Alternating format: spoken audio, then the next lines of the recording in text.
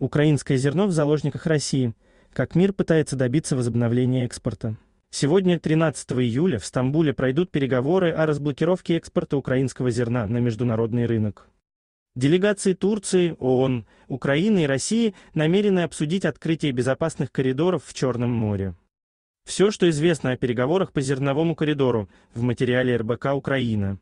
Четырехсторонняя встреча в Турции. Анкара анонсировала переговоры в формате ООН, Турция, Украина, Россия.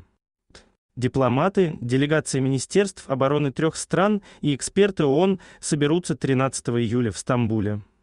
Предметом обсуждения является организация безопасного вывоза зерна из украинских портов.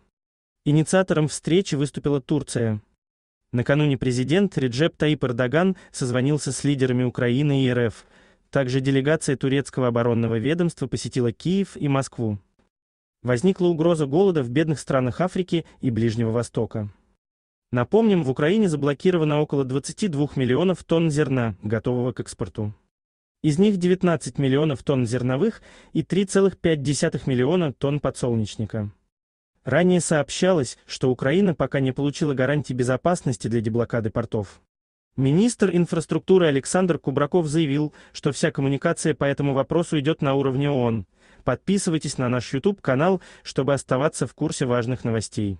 Также под видео вы найдете ссылку на скидки на AliExpress. Спасибо за просмотр после чего было объявлено о прогрессе в решении проблемы зернового коридора. Позиция Украины. Глава украинского МИД Дмитрий Кулеба считает, что Украина находится в двух шагах от заключения сделки с РФ, но еще предстоит решить проблемы безопасности.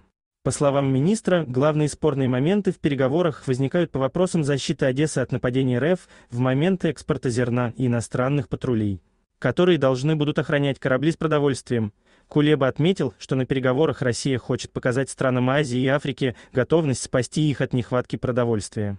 При этом она не заинтересована в возобновлении экспорта, поскольку это позволит Украине получать доход с международного рынка и сделает нашу страну еще сильнее, что говорят в РФ.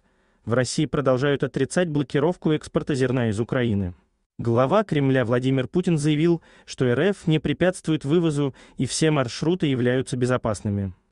В МИДе страны-агрессора ранее отмечали, что Россия готова обеспечить гуманитарный коридор в море, но для этого украинская сторона должна разминировать порты. Также в РФ считают, что для решения продовольственного кризиса должны быть сняты санкции на экспорт российских товаров и финансовые платежи. Ожидание Турции. В Турции надеются на положительные результаты переговоров и заявляют, что проблема с вывозом зерна близка к решению. Министр обороны страны Хулуси Акар выразил мнение, что по итогам встречи украинское зерно из портов в Стамбуле уже 13 июля может быть отправлено морским путем на международные рынки. Как должен работать зерновой коридор? Для возобновления судоходства в Черном море ООН при содействии Турции разработала план по созданию зернового коридора из Украины. Механизм предусматривает, что через Босфор и Дарданеллы в ближайшие полгода на мировые рынки поставят до 40 миллионов тонн украинского зерна. В первую очередь ожидается выход торговых судов из Одессы. Кроме того, план деблокады экспорта включает очищение моря от мин, а также страхование и безопасность кораблей. Украинская сторона опасается, что разминирование побережья, необходимое для создания коридора, Россия может использовать для нападения на южные регионы. Поэтому президент Владимир Зеленский настаивает на гарантиях безопасности с привлечением третьих стран. С начала полномасштабного вторжения Россия полностью заблокировала экспорт продукции из украинских портов, что привело к проблеме глобальной продовольственной безопасности. Из-за присутствия военных кораблей РФ и минирования Черноморской акватории остановились поставки зерновых из Украины.